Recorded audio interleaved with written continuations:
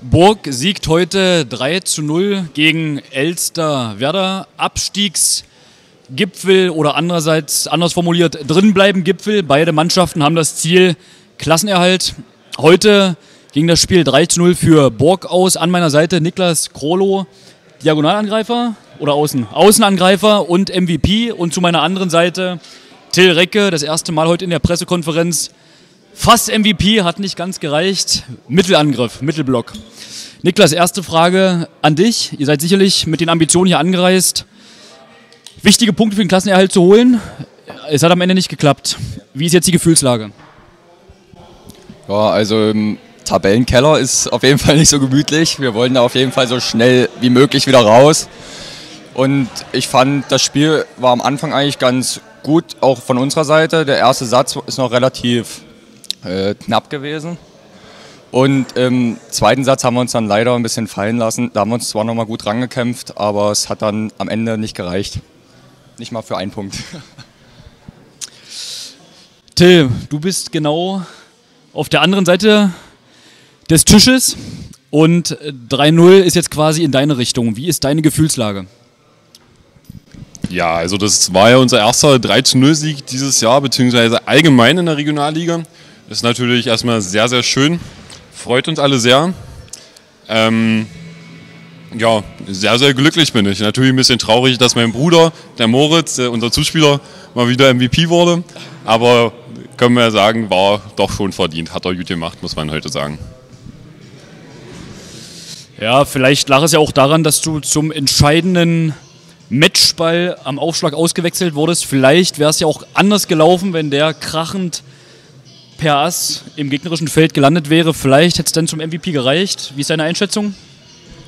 Ja, ich denke, dazu wäre es nicht gekommen. Ähm, ich war schon recht glücklich, dass ich in dem Moment ausgewechselt wurde, weil ich ja ähm, auch bei dem Aufschlag nicht so erfolgreich normalerweise bin. Ähm, war ich eigentlich recht glücklich, dass ich die Strafkiste nicht bezahlen muss. Niklas, jetzt nochmal zu dir und zu Elsterwerder. Ähm, es ist ja beim letzten Mal auch schon so gewesen, weil wir gerade beim Thema auch MVP sind, ähm, dass ihr ein Team seid, was gespickt ist mit vielen Routiniers, aber eben auch mit vielen jungen, äh, wilden ähm, Talenten. Du gehörst äh, zu, sicherlich äh, zu den Talenten und dennoch äh, Leistungsträger. Ich kann mich erinnern, auch im Hinspiel warst du schon der MVP. Ähm, Heute wieder. Ähm, wie ist bei euch das, ähm, der Mannschaftsspirit bei einer so, ich sag mal, äh, heterogenen Mannschaft, rein schon vom Alter und von den äh, Spielertypen her? Ja, also ich finde das eigentlich ganz gut, dass das so ein bisschen gesplittet ist, weil auf jeden Fall auch äh, ältere Mitspieler zu haben für die Erfahrung und auch sehr junge Mitspieler zu haben, um dann ja, sich wohlzufühlen. Also wenn man mehr junge Leute um sich hat, ist natürlich auch schön. Und ja, was soll ich so groß sagen? Das ist gut, wenn alles so gut durchmischt ist, finde ich.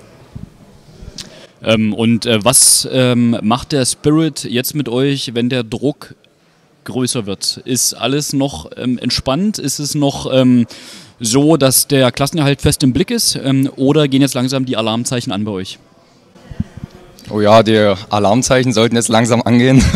Wir haben auf jeden Fall noch zwei, drei sehr wichtige Spiele vor uns, wo wir auf jeden Fall punkten müssen. Dann ist vielleicht auch noch mit ein bisschen Glück der Klassenerhalt drin.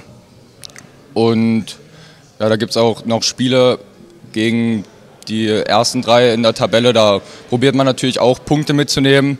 Aber ich denke mal, der Fokus liegt da mehr auf die Spiele, die näher an uns dran sind, die Mannschaften, genau. Zum Beispiel Cottbus. Das, da müssen wir auf jeden Fall drei Punkte holen. Ähm, Till, die Frage jetzt an dich. Ja, jetzt klingelt hier wie so eine Kuhglocke.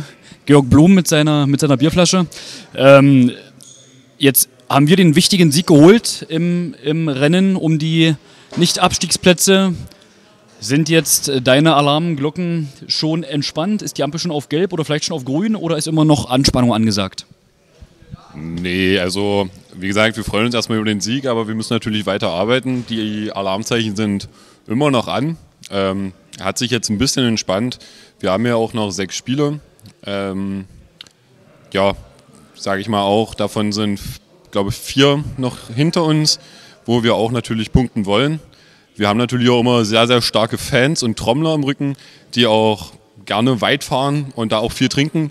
Ähm, ja, von daher sind wir quasi immer mindestens sieben Leute auf der Platte.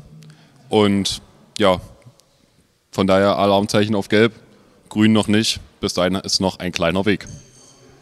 Also die trinken sehr viel Wasser, um das äh, klarzustellen. Ähm, so, Schlussfazit. Hast du noch einen Satz, den du gerne loswerden möchtest?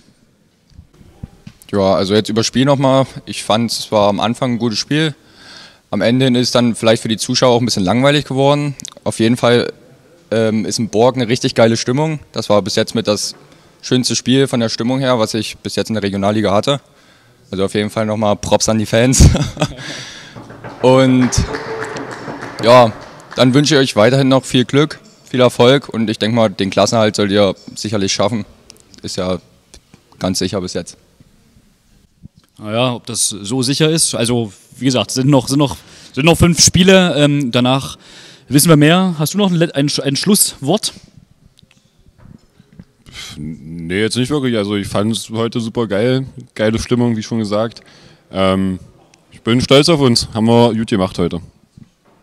Gut, dann mache ich den Schluss. Wir haben das nächste Spiel in der nächsten Woche gegen DJK Westen auswärts, leider ohne Zuschauer, aber dafür umso mehr dann am 27. Februar. Das ist in drei Wochen circa, Sonntag, 15 Uhr Heimspiel, auch ein ganz wichtiger Kracher gegen TKC Wriezen, auch eine Mannschaft, die um die Nicht-Abstiegsplätze kämpft, so wie wir auch.